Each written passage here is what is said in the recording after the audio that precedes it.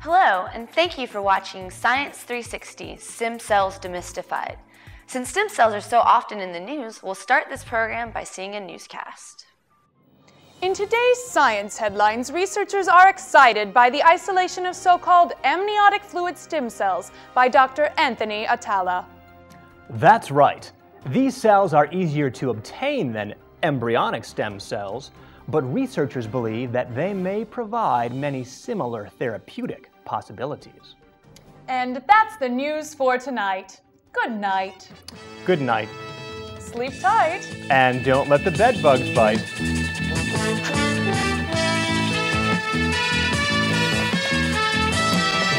Okay, wait.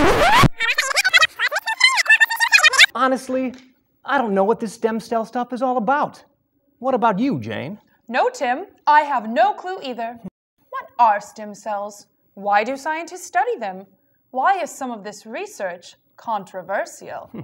Maybe our friends at Morehead Planetarium and Science Center can help demystify stem cells for us. Before we jump into stem cells, let's review some basic biology. Do you recognize this molecule? Yeah, that's DNA. Isn't that in our cells or something? DNA resides in the cells of all living organisms, apples, as well as humans. But what is this DNA doing in all of our cells? DNA is like a gigantic cookbook for our cells. Just like a cookbook is full of recipes that tell us how to combine ingredients that make a dish, our DNA is full of genes that tell our cells how to combine ingredients, called amino acids, to make proteins. Each gene is like a single recipe, a recipe for a protein. Let's watch a computer animation of how proteins are made from DNA. First, we see the DNA strand. It's ready to be transcribed. That yellow molecule is the RNA transcript. It will be translated into a protein elsewhere.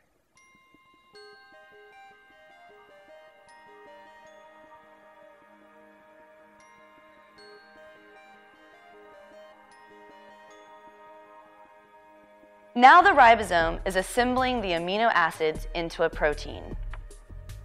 And there's the completed protein. Proteins are molecules that determine how our cells look and what they do. All of our cells have the same cookbook, or DNA, but the cells can look very different and perform diverse tasks. For example, look at your hand. Cells make up the skin on your hand as well as all other tissues and organs. Now consider cells from a different part of your body, such as your eyes. These cells have the exact same DNA as your skin cells. But the cells in your skin don't look like the cells in your eyes. And the cells in your skin act differently than the cells in your eyes. Your eyes see because they have specialized cells for vision. Your skin protects you because it is made of specialized cells that are water resistant and durable. In fact, your body has more than 200 different types of cells. How do all these different cells come to be? Let's go back to the cookbook example to see how this happens. Imagine you're a chef in an Italian restaurant. You have a giant cookbook with tens of thousands of recipes for every kind of cuisine you could imagine. If you wanted to make only Italian dishes, then you would look at only a few of the recipes, the ones for Italian dishes. That's what our cells do. Every one of your cells has the same genes, more than 20,000 of them in fact. But each cell has a very specific job, so it uses only a select set of genes. Just like restaurants tend to specialize in certain types of food, our cells specialize in certain functions like seeing, transporting oxygen, or conducting electrical signals. Here's a picture of DNA.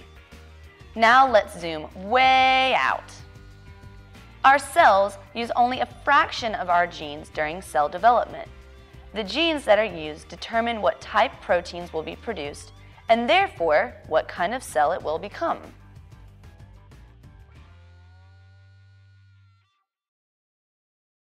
But what about stem cells?